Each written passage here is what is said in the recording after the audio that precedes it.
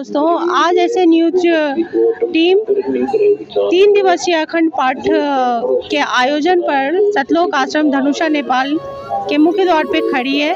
आज हमारा अंदर जाकर के ये देखना है हमें कि ये पाठ प्रकाश कैसे आयोजन होता है। इसकी शुरुआत हो चुकी है, बानी चलेगी, तीन दिन के अखंड पाठ की बानी चलेगी और हवन की तैयारी होगी। और और क्या क्या खास इन्होंने व्यवस्थाएँ कर रखी हैं तीन दिवसीय अखंड पाठ की, आज हम ये जानने के लिए यहाँ आए। आप जैसा कि देख रहे हैं कि भीड़ भी आनी शुरू हो चुकी है, भक्तजनों की भीड़ आनी शुरू हो चुकी है। एक एक द्वार जो है, मुख्य द्वार से छठा एक छोटा सा द्वार है। एक तरफ़ से पुरुषों के जाने की व्यवस्था और एक तरफ़ आप महिलाओं के जाने की व्यवस्था देखते हैं। आश्रम से थोड़ी ही दूरी पे पार्किंग की व्यवस्था है। अभी हम खड़े हैं सतलोक आश्रम के पार्किंग स्थल में। यहाँ आप देख सकते हैं कि अभी पाठ का पाठ शुरू हुए एक घंटा भी नहीं बीता है कि आप गाड़ियों का नज़ारा देख सकते हैं। कहते हैं ना कि जब शुरुआत ऐसी है तो अंजाम कैसा होगा? अभी तो तीन दिन बाकी है और आने जाने वालों का सिलसिला लगातार जारी है लगातार जारी है ख़त्म होने का नाम ही नहीं ले रहा। आप अभी भी देख सकते हैं एक लंबी कतार आश्रम की ओर बढ़ रही है। तैयारियाँ भी शुरू हो चुकी है। आप देख रहे हैं कि भंडारे खाने के लिए आदमी आ रहे हैं जा रहे हैं। भंडारा शुरू हो चुका है। सतलोक आश्रम के बीच प्रांगण में मैं खड़ी हूँ और मैंने सुबह से जो मैंने देखा जो अनुभव किया मैंने ये देखा कि यहाँ पे बच्चे हो, बुज़ुर्ग हो, जवान हो, सभी बालक मनोवृत्ति में बिल्कुल निश्चिंत, जैसे अपने पिता के आँगन में निश्चिंत होकर के बच्चे रहते हैं। सारे बिल्कुल चिंता मुक्त होकर के यहाँ पे आए हैं और सब परमात्मा के दरबार में आकर के खुद भी शोभनीय हो रहे हैं और दरबार की भी शोभा बढ़ा रहे हैं। ये सारा भीड़ जो है, ये सारी भीड़ अभी आनी शुरू हुई है। इनका परिवार अभी तीन दिन तक यहाँ पे जुटेगा। हर एक आश्रम में भक्त परिवार मिलेंगे, जुलेंगे। एक दूसरे से आपस में बातचीत भी होगी इन लोगों की और साथ में इनका अखंड पाठ भी चलता रहेगा। ठीक, मध्य बस ये प्रदर्शनी स्थल। अपने आप में एक आकर्षण का केंद्र बिंदु बना हुआ है और जैसे कि हमारी निगाह जा रही है कि इस और भीड़ भी खासी आकर्षित हो रही है। जितने भी आने जाने वाले आगंतुक हैं, एक बार इसमें गए बिना रह नहीं पा रहे हैं। आइए देखिए इसके अंदर की ऐसी क्या विशेषता है जो भीड़ को अपनी ओर आकर्षित कर कर रही है। एक झलक देखने से ये ऐसा लग रहा है जैसे कि ये संतों का आ, कह सकते हैं पुस्तकालय हो। इस टाइप की यहाँ पे रही है इस तरीके का यहाँ का दृश्य दिख रहा है। और भीड़ तो यहाँ इतनी अच्छी खासी प्रभावित हो रही है जितने भी आगंतुक चाहे छोटे बच्चे हों वृद्धजन हो महिलाएँ हो पुरुष हो सब इस स्थल से आकर्षित हुए बिना नहीं रह पा रहे सब एक बार इसमें आ रहे हैं और बहुत वक्त दे दे करके आप देख सकते हैं कितनी गंभीरता से ये हर एक चीज़ को नोटिस कर रहे हैं कितनी गंभीरता से एक एक संग्रहालय में एक एक पीस के आगे खड़े हो करके हर चीज़ को समझने की कोशिश कर रहे हैं। आइए हम भी जानने की कोशिश करते हैं कि आखिर इसमें ऐसा क्या है जो भीड़ इनकी ओर आकर्षित हो रही है। सबसे मैम। आपका नाम क्या? है विकास दास। जी आप यहाँ किस प्रायोजन से? यहाँ पर प्रदर्शनी स्थल को समझाने के प्रायोजन से सेवादार हैं मैम यहाँ के।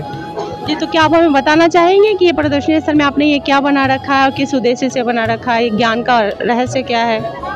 प्रदर्शनी स्थल इसलिए बनाए रखे हैं कि विभिन्न प्रकार के पोस्टर लगाए हुए हैं ताकि लोगों को हर प्रकार की जानकारी मिल सके पोस्टर के माध्यम से जानकारी देना चाहते हैं इसीलिए पोस्टर लगाए हुए हैं किस प्रकार की जानकारी देना चाहते हैं? जैसे कि इस प्रकार का जानकारी देना चाहते हैं कि जैसे कि आप देख सकते हैं यहाँ पर गीता जी में जो प्रमाण सारे हुए उसका जानकारी है। और सौसम वेद के बारे में जो मेरे गुरु जी अर्थात संत रामपाल जी महाराज बताते हैं उसका प्रमाण गीता जी से मिलता है वो चीज़ आप देख सकते हैं ये चीज़ हमें ये सेवा है कि लोगों को समझाना अच्छी तरह से ये सेवा हमको मिला है मैम। तो इस पोस्टर के माध्यम से आपने क्या समझा है? ये समझाया कि मेरे गुरु जी अर्थात संत रामपाल जी महाराज जो बताते हैं वो सारा वेद शास्त्र अर्थात गीता के हिसाब से जो भी ज्ञान देते हैं गीता के हिसाब से देते हैं गीता के अनुसार ज्ञान देते हैं शास्त्र के अनुकूल ज्ञान देते हैं। जैसे कि मैम मैंने आपको पहले पोस्टर में बताया था कि आपने पूछा था कि तत्वदर्शी संत कौन है? मैंने बताया था कि जो संसार रूपी उल्टा लटका हुआ वृक्ष को वेद वेद के हिसाब से सौ वेद गीत बता दे, वही तत्वदर्शी संत है, जो कि आप देख सकते हैं कि संसार रूपी उल्टा लटका हुआ पीपल का वृक्ष, जो कि मेरे गुरु जी अर्थात संत रामपाल जी महाराज बताते हैं कि ये संसार उल्टा लटका हुआ वृक्ष है, जिसकी तीनों सखा, तीनों गुण रूपी रजगुण ब्रह्मा जी, तमगुण विष्णु तमगुण तमगुण शिव जी और सतगुण विष्णु जी है। ये उल्टा लटका हुआ वृक्ष इसको सारा वेद के हिसाब से संत रामपाल जी महाराज बताते हैं। ये, यही उल्टा लटका हुआ वृक्ष है, जिसकी जड़ पूर्ण परमात्मा अर्थात कबीर साहब हैं। जितने भक्तजन आप देख रहे हैं, मैं भंडारे में खड़ी हूँ। भंडारे के एक कॉर्नर में खाने की व्यवस्था की जा रही है। आप देख सकते हैं, पूरी राम अभी ये लोग पूरी राम। राम मैं इसलिए कह रही हूँ क्योंकि यहाँ पे प्रत्येक खाने के आगे जितने भी भोजन पदार्थ हैं, सब में राम कह के ये लोग संबोधित करते हैं। इसलिए मैंने भी इसे पूरी राम कहा है। साथ ही साथ यहाँ पे आप देख सकते हैं कि खाने की व्यवस्था एक कॉर्नर पे बन रही है, जहाँ पे माइयाँ रोटी बेल रही हैं, पूड़ियाँ बेल रही हैं, सब्ज़ी कट रहे हैं और भगत भाई सारे जितने हैं जितने भी भगत जन हैं, ये सारे पूरी बनाने में, कोई सब्ज़ी बनाने में व्यस्त हैं।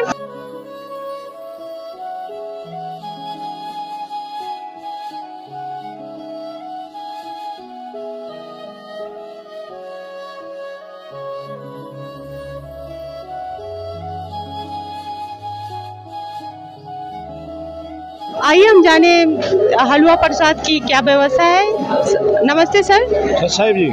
नाम क्या है सर आपका? करमवीर दास है जी। कहाँ से आए हरियाणा रोहतक से।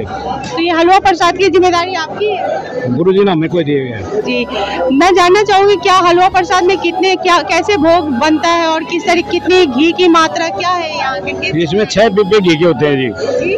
छह पिप्पे घी के होते हैं। जितना घी है उतना चीनी होता है उतना ही और इसका बेसन होता है आटा जितना होता है उसे तीनों के मिश्रण से इतना ही जलराम होता है।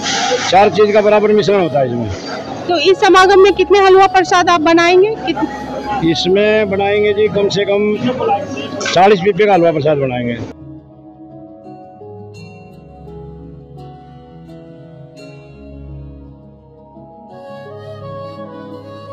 ये लाइन यहाँ पर ही भक्तों ने लगा रखी है, क्योंकि अब इनका वही हलवा प्रसाद का भोग जो है वो परमात्मा के दरबार तक जाने वाला है, दरबार साहिब तक जाने वाला है।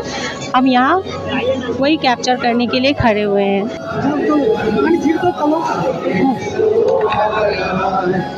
आप देख रहे हैं यहाँ पे प्रसाद जा रहा है, दरबार साहिब मार्ग की ओर प्रसाद आ रहा है।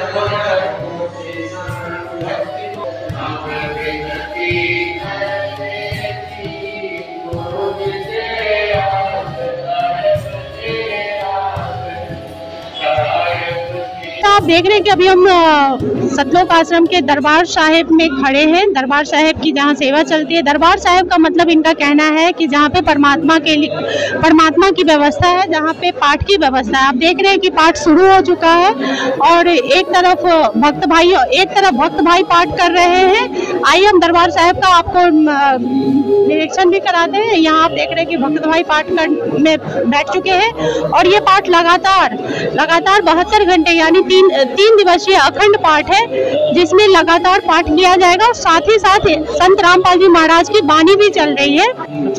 आपका नाम क्या है?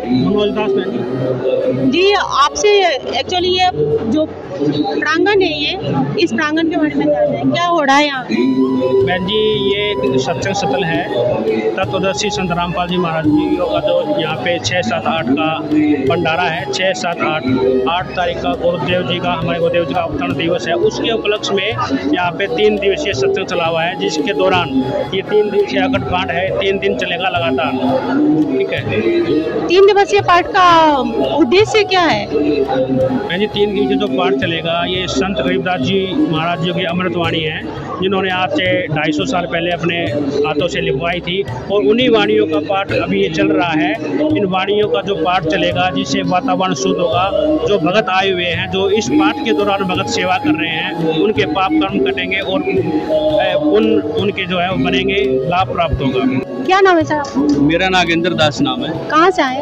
मैं बिहार से आया हूँ बिहार से आपने यहाँ नेपाल में हैं। जी, देखिए, यहाँ पर हम इसलिए आए हैं। संत रामपाल जी महाराज जी के तिहत्तरवें अवतरण दिवस के उपलक्ष्य में यहाँ पर उनका अवतरण दिवस मनाया जा रहा है। सात सितंबर उन्नीस सौ इक्यावन को संत रामपाल जी महाराज जी का धनाना में, धनाना गाँव में इस धरा पे अवतरण हुआ।